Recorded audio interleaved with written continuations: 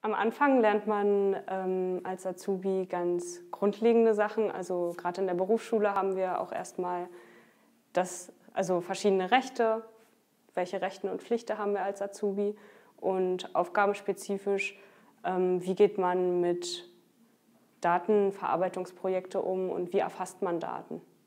Typische Aufgaben als Azubi sind zum Beispiel Recherchieren für verschiedene Sachverhalte oder auch die Mitarbeit an Projekten, zum Beispiel die Auswertung von Fragebögen oder ähm, ja, die, ja, die Aufbereitung später.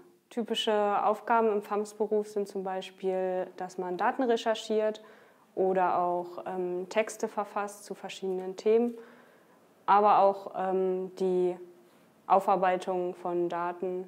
Also man muss schon ein gutes Zahlenverständnis haben. Für den FAMS-Beruf braucht man einen mittleren Schulabschluss. Durchschnittlich, also ich bin im ersten Lehrjahr, verdient man 610 Euro brutto.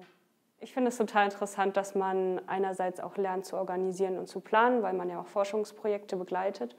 Und das sind auch Sachen, die man nicht nur in seinem beruflichen Leben später braucht, sondern auch im privaten Leben gut gebrauchen kann. Sowas wie Zeitmanagement oder ähnliches. Also ich finde, es ist ein sehr vielseitiger Beruf und auch ein Beruf, der auch noch nicht so lange existiert. Deswegen stehe ich hinter dem Beruf und bin dafür, dass auf jeden Fall der Beruf auch mehr, auch mehr Zuspruch bekommen sollte.